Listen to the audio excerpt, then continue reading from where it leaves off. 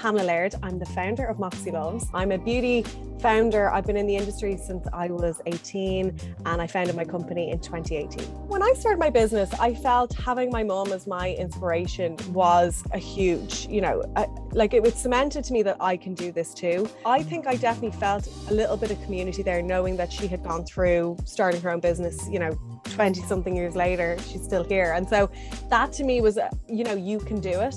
But what I realized as I started on the journey of being a female entrepreneur in a different space than, than my mom had, and I move into new circles, I realized how little women there are and, and how difficult that can be. And not everybody has a mom who started their own business, not everybody has that person uh, and that mini community, if you like. So I've really tried to open up and be, do as much networking as I can. I think women need to come out more. We need to network more. We need to be the ballsy people, you know, going to those after work things, talking to each other because, you know, we need more women in those rooms, is my opinion. And so um, I'm lucky to have a small community of women around me, but I know not everybody has that privilege.